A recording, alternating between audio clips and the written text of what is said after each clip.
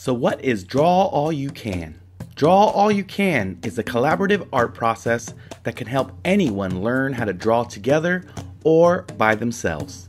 What's in the Draw All You Can box? Inside, you will find three different color cards pink, yellow, and blue, a total of 56 cards, and one instructional card. Objective and goals. The objective is to use the cards to help draw by yourself or with other people to fill up a blank page with drawings. It's perfect for anyone who has a fear of drawing. How many people can draw together? Ideally, a group of two to four people works great. However, anyone from one person up to nine people can be involved in one drawing. Before we start, let's go over two things that will help you during the Draw All You Can process. Number one, make sure to breathe in and out slowly each time you create a new line or an image. The reason for this is you can create smoother lines and it gives time for the ink to reach the paper. The second thing to remember is to say wow after each line or shape that you drew. If you like something, you say wow. And if you don't like something, you still say wow.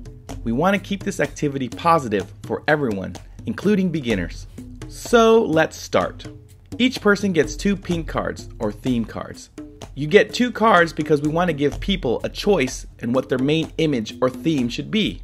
There are also quotes above the image that maybe you relate to that helps you choose. Each person then selects their favorite from the two pink cards and puts them in the middle of the pile.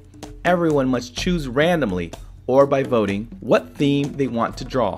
The theme image should take at least up to two thirds size of the poster, so make sure to make it big. You can now distribute two yellow cards for each person in your group. Choose your favorite yellow card from the two and use what you like to connect from the theme image. You do not have to keep the yellow image together. In fact, we want you to break them up and use elements from each image. What we are doing here is creating new images by connecting to the main theme image. Think of your main image as a tree and the leaves are the yellow cards growing out of it.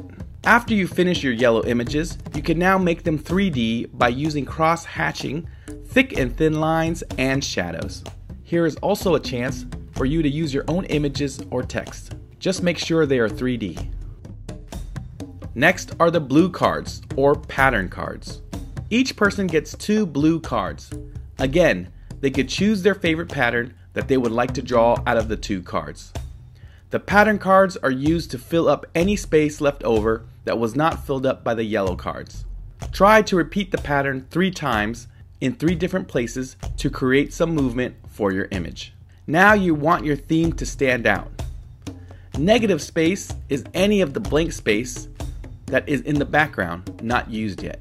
To do this, use black or solid color to fill up negative space.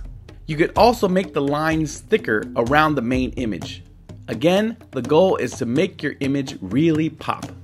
Congratulations on your first Draw All You Can drawing. Now take a deep breath and take a step back and say, wow.